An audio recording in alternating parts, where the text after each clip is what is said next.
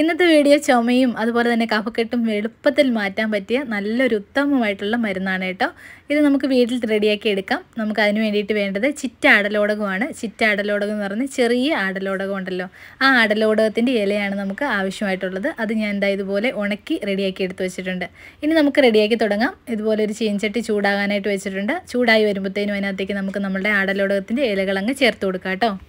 ആടലോടകത്തിന്റെ ഇല നന്നായിട്ട് ചൂടായി വരുന്ന സമയത്തേക്ക് നമുക്ക് ഒരു കാൽ കപ്പ് ജീരകം ചേർത്ത് കൊടുക്കാം. ഞാനിവിടെ സാധാ ജീരകമാണ് കേട്ടോ ചേർത്തിരിക്കുന്നത്.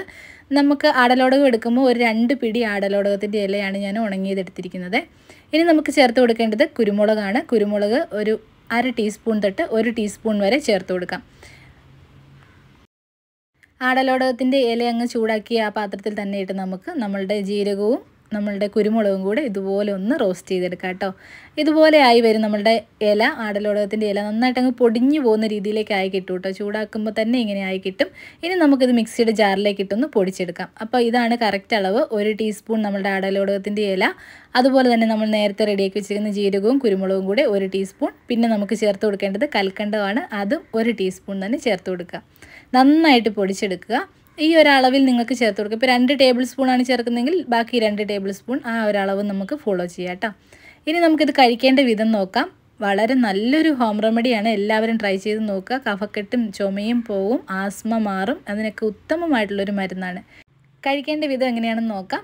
ഒരു ടീസ്പൂൺ നമ്മളുടെ പൊടി എടുക്കുക. അതിനകത്തേക്ക് നമുക്ക് നമ്മളുടെ തേനാണ് ചേർത്ത് കൊടുക്കേണ്ടത് കേട്ടോ. തേനിൽ ചാലിച്ചാണ് ഞാനിത് കുഞ്ഞുങ്ങൾക്ക് കൊടുക്കാറുള്ളത്. കുഞ്ഞുങ്ങൾക്കും കൊടുക്കാം. യാതൊരു കുഴപ്പമില്ല അപ്പം ഞാനിവിടെ എടുത്തിരിക്കുന്നത് ചെറുതേനാണ് കേട്ടോ. ചെറുതേനോ വൻതേനോ നിങ്ങൾക്ക് ആവശ്യമുള്ളത് ചേർത്ത് കൊടുക്കാം.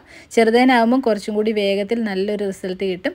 നമുക്ക് ഒരു ടീസ്പൂൺ പൊടിയെടുത്ത് ദാ ഇതുപോലെ മിക്സ് ചെയ്ത് കൊടുക്കാം കേട്ടോ തേനിൽ ഒന്ന് കുഴച്ചെടുക്കണം. ആ ഒരു രീതിയിലേക്കായിട്ട് നമുക്ക് കുഞ്ഞുങ്ങൾക്കും കൊടുക്കാം മുതിർന്നവർക്കും കഴിക്കാം കേട്ടോ. ദിവസവും മൂന്ന് നേരം കഴിക്കാവുന്നതാണ്. കാൽ ടീസ്പൂണൊക്കെ വെച്ച് കുഞ്ഞുങ്ങൾക്ക് കൊടുക്കാം. ധൈര്യമായിട്ട് കൊടുക്കാൻ പറ്റുന്ന നല്ലൊരു ഹോം റെമഡിയാണ് ട്രൈ ചെയ്യാൻ മറക്കരുത്. വീഡിയോ ഇഷ്ടപ്പെടുവാണെങ്കിൽ ഷെയർ ചെയ്യാനും ലൈക്ക് ചെയ്യാനും ഫോളോ ചെയ്യാനും ഒന്നും മറക്കരുത് കേട്ടോ. മറ്റൊരു നല്ല ടിപ്പുമായി മറ്റൊരു നല്ല വീഡിയോയുമായി വീണ്ടും കാണാം. Thank for watching